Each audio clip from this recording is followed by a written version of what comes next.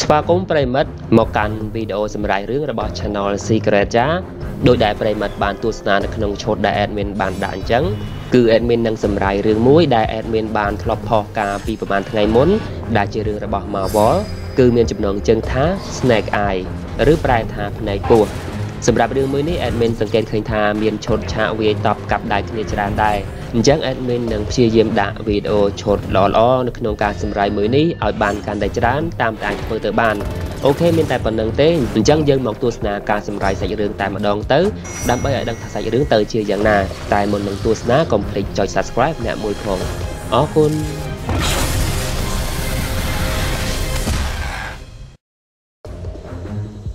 ដំណើរសាច់រឿងបានចាប់ផ្ដើមពីឪពុករបស់ Snake Eye ដែលកំពុងតែគេចខ្លួនមករស់នៅក្នុងផ្ទះក្នុងព្រៃមួយប៉ុន្តែនៅយប់មួយពួកគេត្រូវបានលោក Augustin រកឃើញដដែលដែលនៅពេលនោះឪពុករបស់ Snake Eye បានឲ្យ Snake Eye ទៅលាក់ខ្លួនមុនពេលដែលលោក Augustin បានចូលមកដល់រីឯលោក Augustin បន្ទាប់ពីបានមកដល់ទីនោះលោកបានឲ្យឪពុករបស់ Snake Eye បោះគ្រាប់ឡុកឡាក់ ដើម្បីកំណត់ជីវិតឪពុករបស់គេ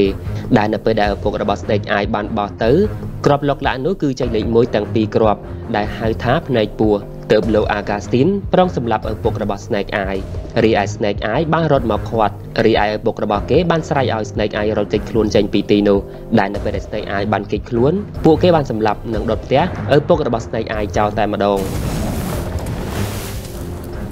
លុះដល់ Snake Eye បានធំដឹងក្តីធ្វើជាអ្នកប្រដាល់ជាមនុស្សដែលគ្មានផ្ទះពិតប្រាកដនៅថ្ងៃមួយនៅពេលដែលគេកំពុងតែប្រកួតប្រដាល់ជាមួយនឹងបរិសម្នាក់បានរងរបួសយ៉ាងដំណំស្ទើរតែងើបមិនរួចទៅពេលនោះអ្នកទស្សនាបានបោះអាវុធទៅខាងក្រោមដើម្បីឲ្យវាយទៅលើ Snake Eye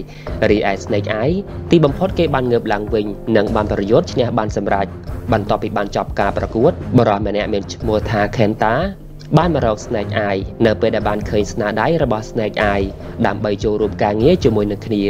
ដែលដំបូងឡើយ Snake Eye គេបែរជាមិនចង់ធ្វើការជាមួយអ្នកណានោះទេ តែពេលនោះដោយសារតែលោក Kenta បានដឹងរឿងរបស់ Snake Eye ដែលកំពុងតែស្វែងរកឃាតករសម្លាប់ឪពុករបស់គេហើយលោកក៏បានដឹងរឿងច្រើនទាក់ទងនឹងការសម្លាប់ឪពុករបស់ Snake Eye Snake Eye ក៏បានយល់ព្រមធ្វើការងាររួមគ្នាជាមួយនឹងលោក Kenta តែម្ដង លុះ4អាទិត្យកន្លងផុតទៅនៅទីក្រុង Los Angeles Snake Eye បានធ្វើការជាមួយនឹងអ្នកជួញដូរអាវុធដែលបានលាក់អាវុធនៅក្នុងសាច់ត្រីដែលនៅពេលនោះអ្នកគ្រប់គ្រងបានហៅពួកគេទាំងអស់គ្នាមកប្រជុំដើម្បីមកនិយាយអំពីភាពស្មោះត្រង់និងភាពជឿជាក់គ្នាដែលពេលនោះពួកគេបានចាប់បរិម្នាក់ដែលបានបន្លំខ្លួននៅទីនោះមានឈ្មោះថា Tommy ដែលត្រូវជាបងប្អូនជីដូនមួយរបស់លោក Kenta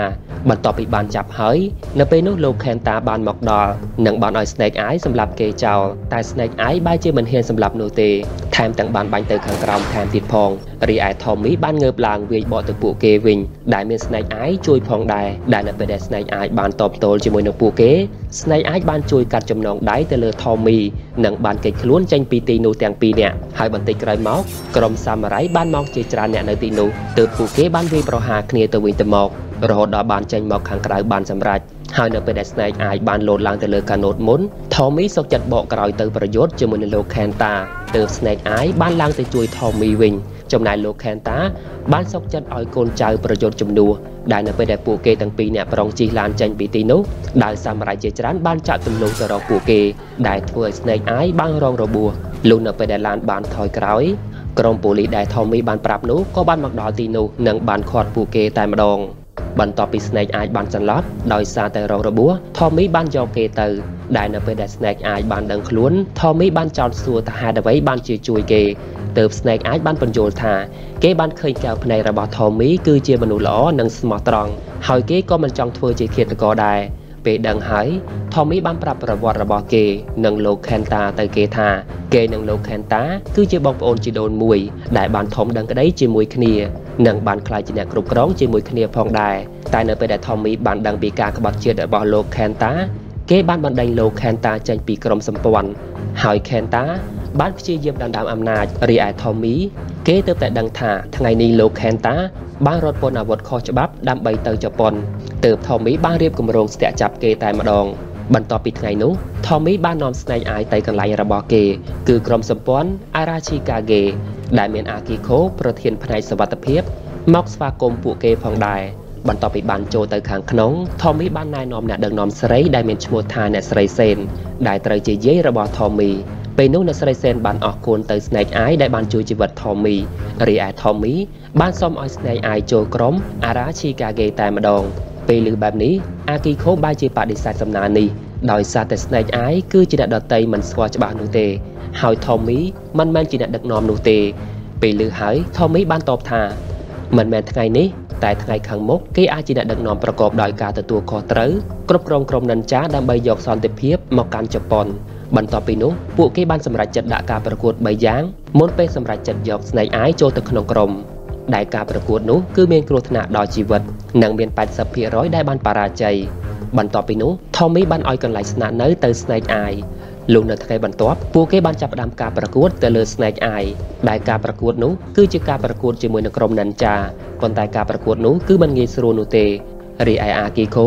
នាងនៅតែគិតថាការធ្វើបែបនេះគឺខុសដោយនាងនិយាយថា Snake Eye គឺធ្លាប់ធ្វើការឲ្យលោក Kenta ពេលឮបែបនេះ Tommy នៅតែមិនស្ដាប់នាងដដែលលុះបន្ទាប់ពីនោះពួកគេបានឲ្យ Snake Eye ប្រកួតជាមួយនឹង Hard Master ដែលការប្រកួតនេះគឺធ្វើយ៉ាងណាដណ្ដើមទឹកពីគ្នាកុំឲ្យកំពប់បើសិនជាអ្នកណាបានយកទឹកពីដៃគូបានចំនួន4ដងនោះនឹងត្រូវចាញ់មិនខាន បន្ទាប់ពីបានយល់ហើយស្នេហ៍អាយចាប់ផ្ដើមការប្រកួតប៉ុន្តែគេនៅតែចាញ់ដដែល លោកនៅពេលដែលចានចុងក្រោយស្នេហ៍អាយបានរកនឹកវិធីផ្សេងដោយបានសុំដូរចានទឹកពី Hard Master បន្ទាប់ពីការប្រកួតបានចប់ពួកគេបាននាំគ្នាធ្វើកម្មវិធីជប់លៀងសម្រាប់ Tommy ហើយ Tommy បានប្រាប់ទៅ Snake Eye ថា គេគឺជាខ្សែលោហិតចុងក្រោយ របស់ Ara Shikage ហើយគេពិតជាចង់បានអ្នកចម្បាំងដោយ Snake Eye ណាស់បន្ទាប់ពីនិយាយហើយ Hard Master បានមើលមុខទៅ Snake Eye យ៉ាងចម្លែក បន្ទាប់ពីនោះ Snake Eye បានខ្ចីម៉ូតូរបស់ Tommy ចេញទៅខាងក្រៅដែលគេបានទៅជួបលោក Kenta វិញនិងបានប្រាប់រឿងគ្រប់យ៉ាងដែលគេបានដឹងពីសម្ព័ន្ធ Ara Shikage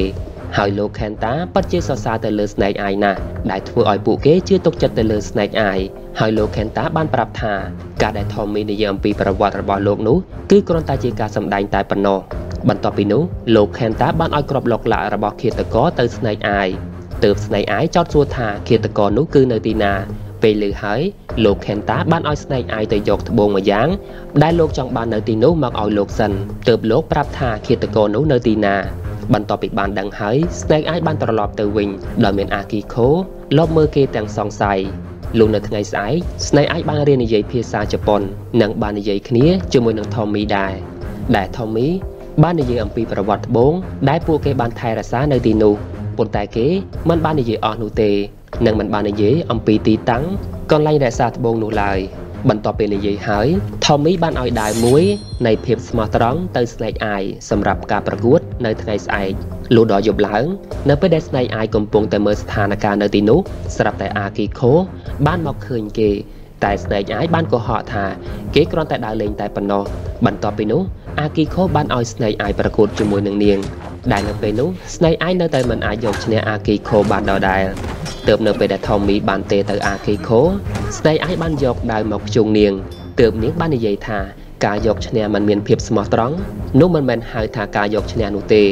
បន្ទាប់ពីបានទេហៅអាគីខូមកហើយពេលនោះពួកគេបានរកឃើញកន្លែងរបស់ Kenta ជួញដូរអាវុធបន្តទៀតទើបពួកគេទាំង3បាននាំគ្នាទៅទីនោះដើម្បីសម្លាប់លោក Kenta លោកបន្ទាប់ពីបានទៅដល់ទីនោះហើយពួកគេបានបែងចែកគ្នាសម្រាប់កូនចៅរបស់លោក Kenta ដែលអាគីខូនាងបានសម្រុកចូលទៅមុនមុនពេលដែល Snake Eye ចូលទៅតាមក្រោយដែលនៅពេលដែល Snake Eye បានចូលទៅជួបជាមួយនឹងលោក Hama ទើបគេបានផ្ដល់សញ្ញាថាគេគឺជាគ្នាឯងតែប៉ុណ្ណោះចំណែក Tommy បានទៅប្រយុទ្ធជាមួយនឹងលោក Kenta ដែលនៅពេលដែលអាគីខូប្រងទៅជួយ Tommy Snake Eye បានលួចផ្ដាច់ដៃរារាំងនាងពីមុខដែលធ្វើលោក Kenta បានគេចខ្លួនបាត់បន្ទាប់ពីនោះ ពួកគេបាននាំគ្នាឆែកមើលអាវុធដែលនៅក្នុងហឹបនោះគឺមានសញ្ញាពូវែករបស់ក្រុមឧក្រិដ្ឋកម្មបន្ទាប់ពីបានត្រឡប់មកវិញហើយ Tommy បានតាក់ទងទៅគ្នារបស់គេម្នាក់ទៀតដើម្បីឲ្យមកទីក្រុងតូក្យូវិញដែលនោះគឺជា Scarlett ហើយនាងកំពុងតែបំពេញការងាររបស់នាង ពេលនោះអាគីខូបានប្រាប់ទៅ Snake Eye ថារូបសញ្ញាពូវែងនោះគឺជានិមិត្តសញ្ញារបស់ក្រុមឧក្រិដ្ឋកម្មជាក្រុមយោធាផលិតអាវុធខុសច្បាប់ បន្ទាប់មក Scarlett បានប្រាប់ពួកគេអំពីអ ுக ្រិតជនស្រី មានឈ្មោះថា Baroness ដែលធ្លាប់សម្លាប់សាភានិងអ្នកធ្វើដំណើរនៅក្នុងរថភ្លើងចំនួន200នាក់បន្ទាប់ពីបានដឹងហើយ Snake Eye បានលួចជិះម៉ូតូចេញទៅខាងក្រៅជួបលោក Kenta ម្ដងទៀតហើយក៏ត្រូវបាន Akiko តាមពីក្រោយប៉ុន្តែបន្តិចក្រោយមក Snake Eye បានដឹងខ្លួនមុននិងបានជិះលាក់ខ្លួនបានសម្រេច បន្ទាប់ពីបានទៅជួបលោកខេនតាហើយស្នេហ៍អាយបានប្រាប់ថាគេមិនចូលក្រុមភារវកម្មនោះទេ បន្ទាប់ពីនោះបេរ៉ូណេក៏បានដើរចេញមកនិងបានស្វាគមន៍ទៅស្នេហ៍អាយប៉ុន្តែគេនៅតែមិនព្រមចូលក្រុមជាមួយនឹងក្រុមភារវកម្មនោះទេទើបភ្លាមនោះ Baroness បានយកវីដេអូឃាតករសម្រាប់ឪពុករបស់ Snake Eye ដើម្បីឲ្យគេមើលនិងឲ្យគេចូលក្រុមជាមួយនាងបន្តទៀតដើម្បីជាការតបស្នងដើម្បីចង់ដឹងថាឃាតករនោះគឺនៅទីណា ដែលនៅពេលនេះនាងទុកឱកាសឲ្យគេចំនួន3ថ្ងៃដើម្បីបំពេញភារកិច្ចបើមិនដូច្នោះទេ Snake Eye មិនបានឃើញឃាតករនោះគឺនៅទីណានោះទេ បន្ទាប់ពីបានត្រឡប់ទៅវិញហើយលោកគ្រូពីការភ្នែកបានដាក់ការប្រកួតឲ្យ Snake Eye ប្រកួតបន្តទៀតដែលលោកបានឲ្យ Snake Eye បានដើរទៅតាមត្បូងមួយយ៉ាងដែលបន្តិចក្រោយមក Snake Eye បានឃើញទស្សនវិជ្ជាឃាតករសម្រាប់ឪពុករបស់គេ ហើយឃាតករបានសម្រាប់គេថែមទៀតផង ភ្លាមនោះ Snake Eye បានឃើញឪពុករបស់គេបានដើរមកនិយាយជាមួយគេដែលនិយាយថានេះមិនមែនជាកំហុសរបស់ Snake Eye នោះទេ ដែលមិនបានជួយឪពុករបស់គេក៏ព្រោះតែការនោះគឺគេនៅក្មេងខ្លាំងណាស់បន្ទាប់ពីនោះស្នេហ៍អាចបានសួរទៅលោកគ្រូពីការភ្នែកថាតើគេធ្លាក់ឬក៏ជាប់ ទើបលោកគ្រូបានតបទៅវិញថានេះមិនមែនត្រឹមតែជាការប្រកួតនោះទេគឺលើកពីការប្រកួតទៅទៀតបន្ទាប់ពីនោះស្នេហ៍អាចបានយកក្របលុកឡាក់មកមើលទើបគេបានដឹងថាក្របនោះគឺវាចេញលេខ1ទាំងពីររហូត នៅពេលដែលបានបោះវាទៅខាងក្រោមបន្ទាប់ពីនោះ គេបានលួចចូលទៅស៊ើបការនៅក្នុងបន្ទប់សម្លៀកបំពាក់និងអាវុធនៅទីនោះបន្តទៀតប៉ុន្តែភ្លាមនោះអាគីខូក៏បានចូលមកស្របពេលដែលគេទៅតែចេញពីទីនោះបន្តិចរីឯអាគីខូនាងបានដឹងថាមានមនុស្សបានចូលទៅតាមខាងលើទើបបានជាសង្ស័យទៅលើ Snake Eye ហើយបានប្រញាប់ទៅតាមរកគេរីឯ Snake Eye បានផ្លាស់សម្លៀកបំពាក់យ៉ាងលឿនមិនឲ្យអាគីខូបានដឹងនោះទេ ហើយពេលនោះអាគីខូនាងបានប្រាប់អំពីការតឹងតែងរបស់នាងនៅទីនេះ ដោយសារតែនៅទីនេះប្រៀបបាននឹងគ្រួសាររបស់នាងក៏ព្រោះតែនាងបានរស់នៅទីនេះតាំងពីតូចមិនបានស្គាល់សូម្បីតែគ្រួសារពិតរបស់នាងនៅពេលបានដឹងរឿងកំសត់របស់អាគីខូបែបនេះហើយស្នេហ៍អាយបានប្រាប់រឿងរបស់គេទៅវិញអំពីការស្វែងរកឃាតករសម្រាប់ឪពុករបស់ស្នេហ៍អាយកាលដែលគេនៅពីក្មេងបន្ទាប់ពីបានដឹងហើយអាគីខូបានលើកទឹកចិត្តឲ្យស្នេហ៍អាយប្រកួតយកជ័យជំនះដើម្បីចូលក្រុមជាមួយនឹងនិនចាហើយនាងបានផ្ដាំពាក្យមួយឃ្លាដើម្បីប្រកួតនៅថ្ងៃស្អែកថា ត្រូវធ្វើឲ្យគ្មានអ្វីនៅក្នុងបេះដូងលុះនៅថ្ងៃស្អែកនៅពេលដែលប្រកួតលើកទី3បានមកដល់ពួកគេបានឲ្យស្នេហ៍អាយបានចុះចូលទៅក្នុងអណ្ដូងពោះមួយដែលបន្ទាប់ពីបានចុះទៅខាងក្រៅបានបន្តិចនិងបានចុចបាក់ទ្វារភ្លាមនោះក៏មានពស់3ក្បាលយ៉ាងធំបានចេញមករីឯ Snake Eye បានត្រៀមខ្លួនជាស្រេចដើម្បីប្រយុទ្ធជាមួយនឹងពស់ទាំងនោះតែបន្តិចក្រោយមកគេបានចងចាំពាក្យមួយឃ្លាដែលអាគីខូបានផ្ដាំគេថាគឺត្រូវធ្វើឲ្យគ្មានអ្វីនៅក្នុងបេះដូង បន្ទាប់ពីបានយល់ហើយគេបានបិទភ្នែកសម្រួលអារម្មណ៍ដែលធ្វើឲ្យពស់ទាំង3នោះហាក់បីដូចជាចង់លែងធ្វើអ្វីទៅលើ Snake Eye ប៉ុន្តែបន្តិចក្រោយមកគេមិនអាចធ្វើបានដដែលដែលធ្វើសត្វពស់ប្រុងនឹងសម្លាប់គេទើបអាគីខូបានសម្រេចចិត្តចុះទៅជួយដោយបានឲ្យ Snake Eye ឡើងទៅលើ ហើយនាងបានធ្វើឲ្យពស់នោះទៅវិញអស់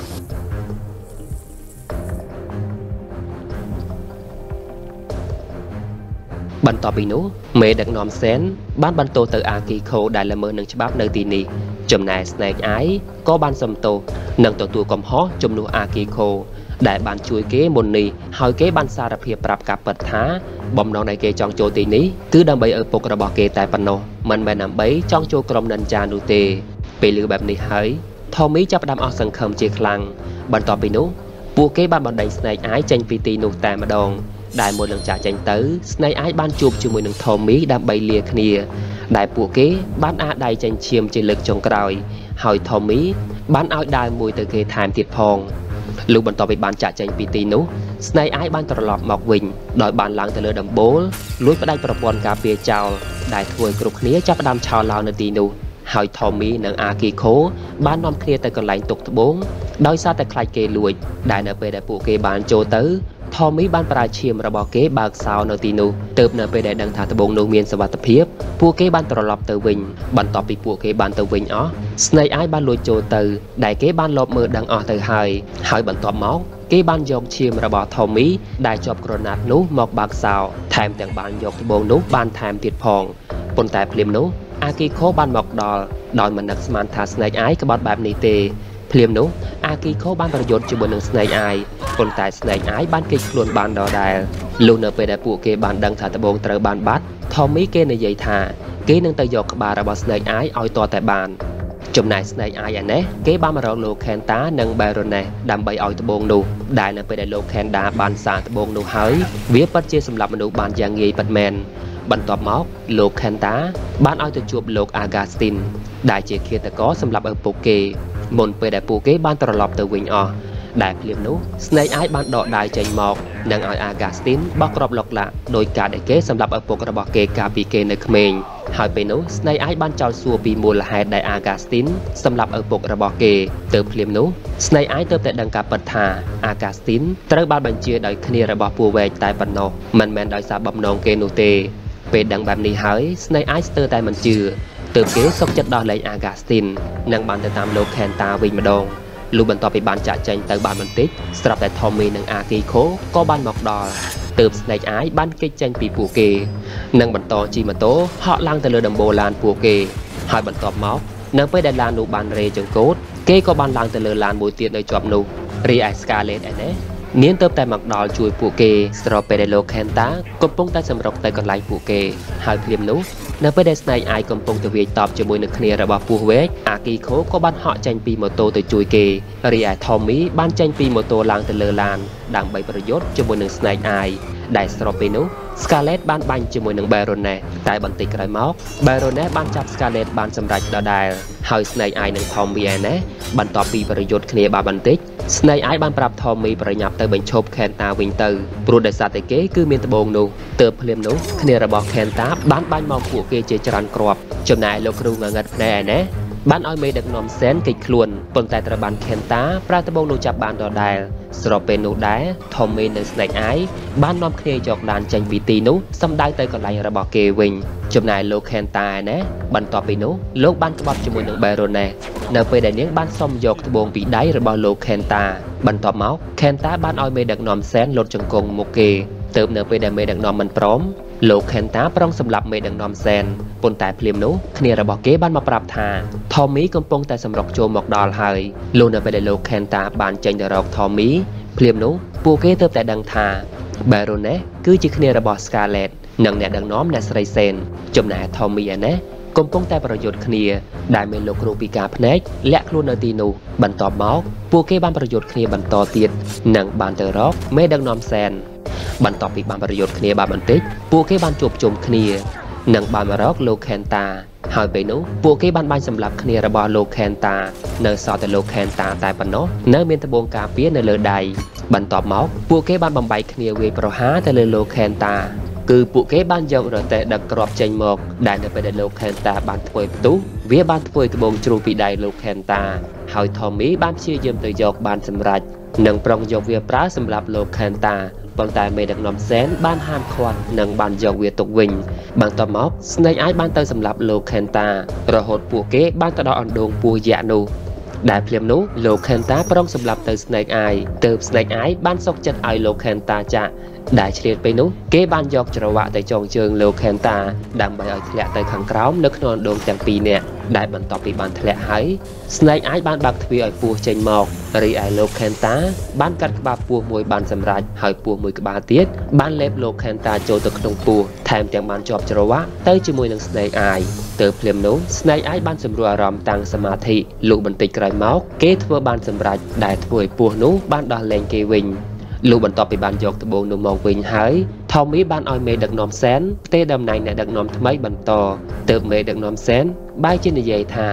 អ្នកស្រីនៅតែបន្តដឹកនាំទៀតដែលធ្វើឲ្យ Tommy ចាប់ផ្ដើមខឹងជាខ្លាំងក៏ព្រោះតែគេ មានឈាមជាប់ពី Ara Chicago ហើយបានពលីជាច្រើនដើម្បីអ្នកនៅទីនេះ ហេតុអ្វីបានជាគេមិនបានទទួលតំណែងនេះពេលនោះគេបានបន្ទោសទៅ Snake Eye ដែលជាអ្នកធ្វើឲ្យគ្រប់យ៉ាងទៅជាបែបនេះបន្ទាប់ពីនិយាយហើយ Tommy បានដើរចេញពីទីនោះដោយបានដោះចិញ្ចៀនទុកចោលនៅទីនោះមុនពេលដើរចាក់ចេញទៅ បន្ទាប់ពីពេលនោះ Snake Eye បានលា Akiko ដើម្បីទៅស្វែងរក Tommy មកវិញ ដែលគេគិតថានេះគឺជាកំហុសរបស់គេ មិនមែន Tommy នោះទេរីឯ Akiko នាងបានឲ្យសម្លៀកបំពាក់ទៅ Snake Eye មុនពេលចាក់ចេញទៅ ដែលស្របពេលនោះ Scarlett បានចូលមកនិងបានយកឯកសារដែលនាងបានរកឃើញឲ្យ Snake Eye គឺឪពុករបស់ Snake Eye គឺជាក្រុមរបស់ជោដូចពួកនាងដែរដែលបានបន្លំខ្លួនចូលទៅក្នុងក្រុមពស់វែកលុះនៅពេលដែលពួកគេបានដឹងពួកគេបានសម្លាប់ទៅលើឪពុករបស់ Snake Eye តែម្ដង ហើយគ្រប់គ្នាបានព្យាយាមប្រងទៅជួយដែរប៉ុន្តែត្រូវបានយឺតពេលនិងត្រូវបានបាត់ខ្លួន Snake Eye កាលពីក្មេងនោះមកម្លេះ បន្ទាប់ពីបានដឹងហើយ Snake Eye បានចាកចេញពីទីនោះដើម្បីទៅស្វែងរក Tommy មកវិញចំណែក Tommy ឯនេះគឺ Baroness បានបានឡំខ្លួនចូលទៅក្នុងយន្តហោះរបស់ Tommy តែម្ដងហើយបាននិយាយទៅកាន់ Tommy ថា Tommy បានបាត់អាវុធតែប៉ុណ្ណោះតែនាងនឹងរកអ្វីមួយសម្រាប់គេវិញមិនខាន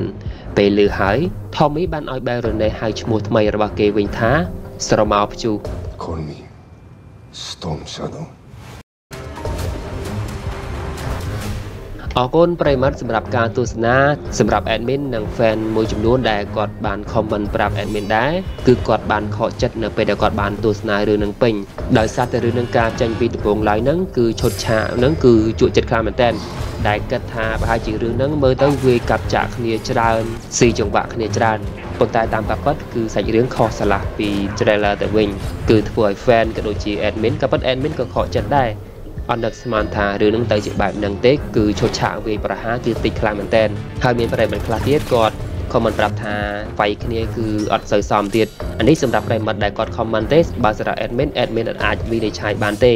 អញ្ចឹង admin ឲ្យប្រិយមិត្តទាំងអស់គ្នាវិនិច្ឆ័យលើរឿងនឹងតែម្ដងទៅអូខេការសម្រាយមួយនេះគឺបានដល់ទីបញ្ចប់ហើយសង្ឃឹមថាប្រិយមិត្តនឹងពេញចិត្តការសម្រាយមួយនេះបើសិនជាមានចំណុចខ្វះខាតសូមមេត្តាខន្តីអភ័យទោសផង admin ទទួលការរិះគន់ក្នុងន័យស្ថាបនាជានិច្ចអរគុណសម្រាប់ការទស្សនាម្ដងទៀតជូនពរសំណាងល្អជួបគ្នាវីដេអូលើលើក្រោយទៀតបាយបាយ